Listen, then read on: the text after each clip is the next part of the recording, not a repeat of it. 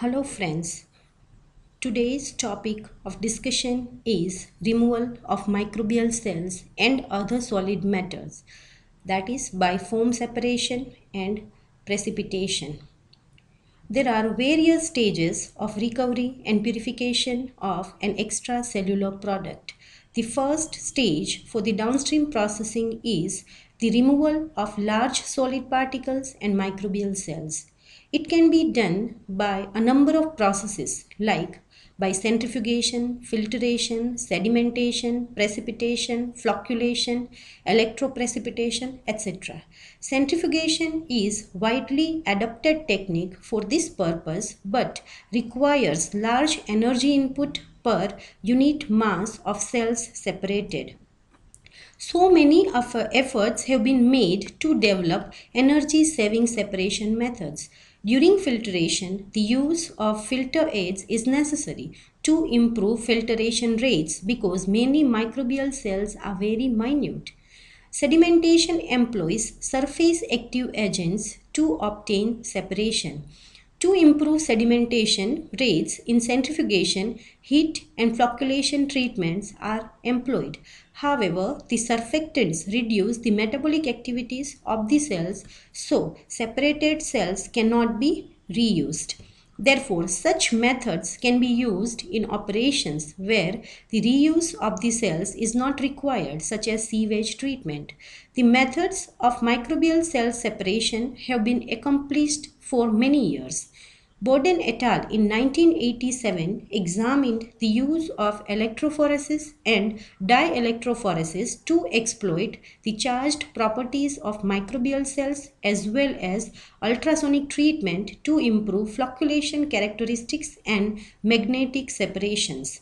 The problems associated with all these techniques include high cost and scale-up difficulties. Solution of this problem is the use of two-phase liquid extraction. Here we need to discuss in detail foam separation. This is well-known method of separation of components of a solution which is based on the differences in their surface activities. It is particularly suitable as foams are having large interfacial area per unit volume of the liquid. It allows separation of whole cells or molecules such as protein or colloidal. Materials first selectively adsorbed to the surface of gas bubbles rising through a liquid and then be concentrated and finally removed by skimming.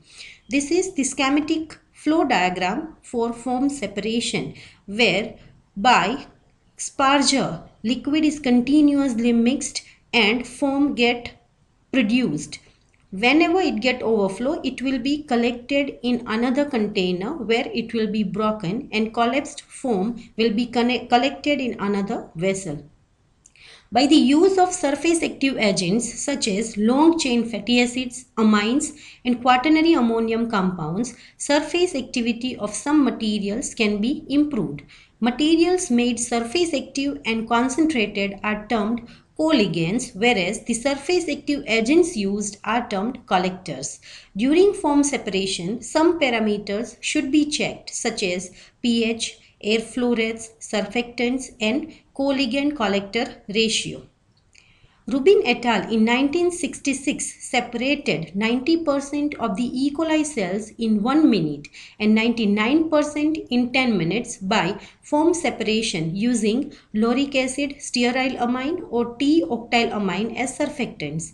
This method also proved effective with other organisms like Chlorella species and Chlamydomonas species. Grieves and Wang in 1966 have used ethyl hexadecyl dimethyl ammonium bromide for E. coli enrichment. Another technique which we need to discuss in detail is precipitation. Precipitation is the chemical process in which solid gets formed in a solution or inside another solid. The solid formed in a solution is called the precipitate and the liquid remaining above the solid is called the supernatant. Precipitation may be carried out at various stages of the product recovery process. This is the simplest method for isolation of fermentation products. To allow enrichment and concentration of desired product in one step, precipitation is used. Therefore, it reduces the volume of material for further processing. There are a number of agents which are used in precipitation. Here I have given some examples. First, acids and bases. They are used to change pH of a solution until isoelectric point of the compound is achieved. At that pH, molecules precipitate due to decrease in the solubility. Second, salts such as ammonium and sodium sulfates. They are used for the precipitation of specifically proteins. The salt removes water from the surface of the protein and allows the exposure of the non-polar sites by that facilitate the aggregation and precipitation. Organic solvents. For example, proteins can be precipitated out of a broth by the addition of chilled ethanol and acetone. Methanol can be used in the precipitation of dextrin. Some non-ionic polymers such as polyethylene glycol can also be used to precipitate proteins.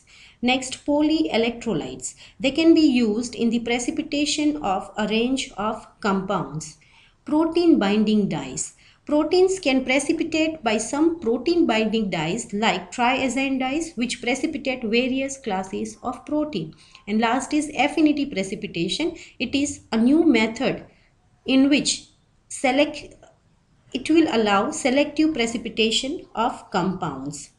Thank you. We'll welcome your questions and feedback. Please visit us at our website www.elearnmicrobiology.com.